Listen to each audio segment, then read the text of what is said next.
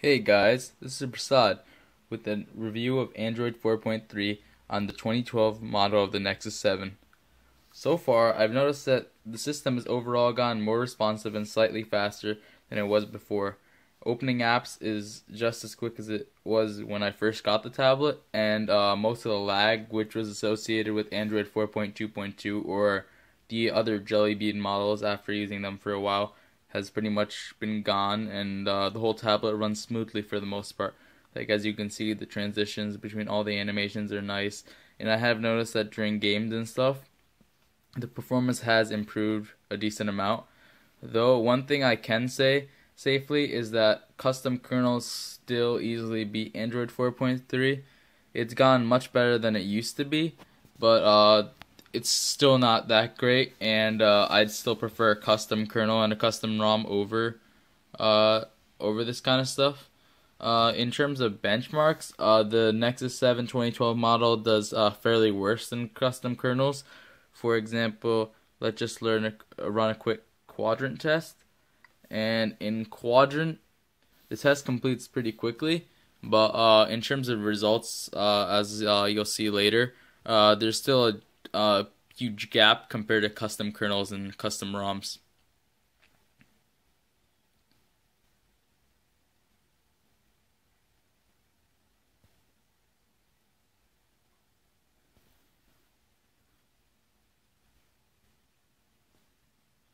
As you can see, the frame rate down there, it's pretty solid at mostly at least around an average of probably 60 frames per second, maybe slightly higher at some points and slightly lower at some points on the first test for quadrant.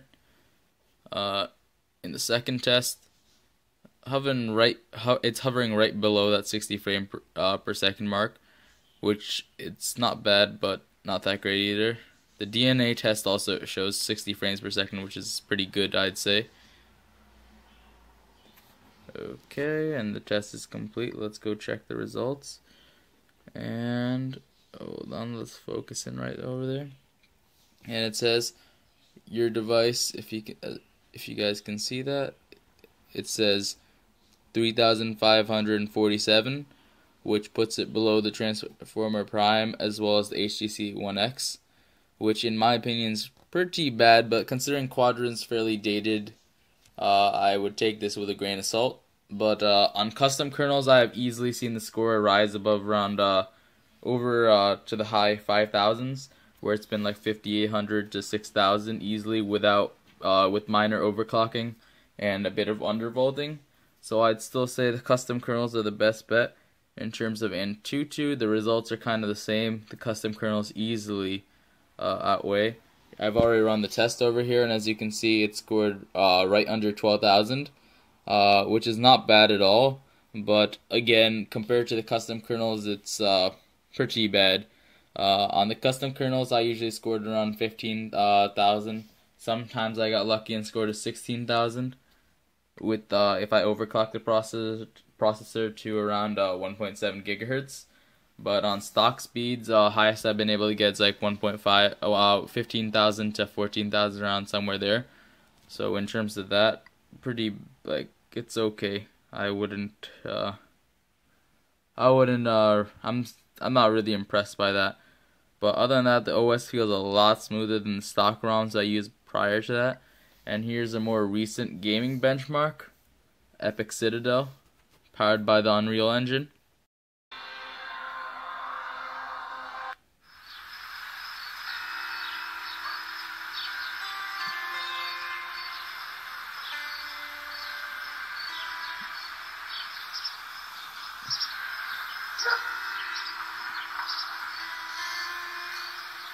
and here. We will benchmark this and as you can see it's a pretty solid looking demo.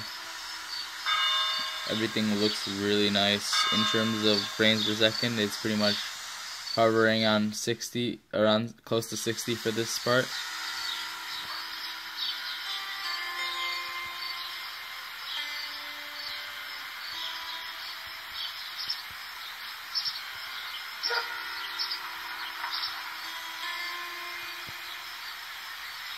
Over here drops down to 40, which again is worse than my custom kernel experience.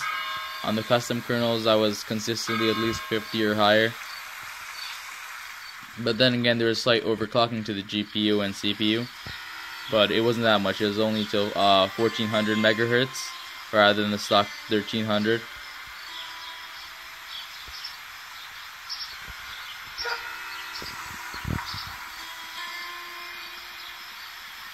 But in most of the sections, it's scoring fairly nicely with a consistent, uh, close to 60 frames per second experience. It's nice and buttery smooth, no problems there. But again, uh, if you're planning on uh, upgrading from a custom ROM or something like that, I think you should just uh, stay with the custom ROM and maybe change kernels or something like that. But other than the FS trim feature, which is added to 4.3, uh, this is not really impressive in my opinion, and it's kind of disappointing. I was expecting a lot more performance leaps. And as we can see, the average FPS is 54.7 frames per second, uh, which is less than my uh, custom kernel. On the custom kernel, I got around uh, 56 to uh, 57, and if I overclocked it, I got uh, around uh, 59 frames per second.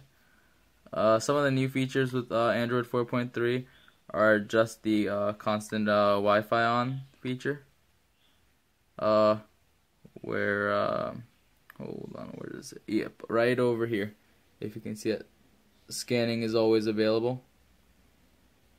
So that way even if Wi-Fi is off it'll still you let you uh, Google servers use like it'll still let you uh, uh, use Wi-Fi to get better location that kind of stuff.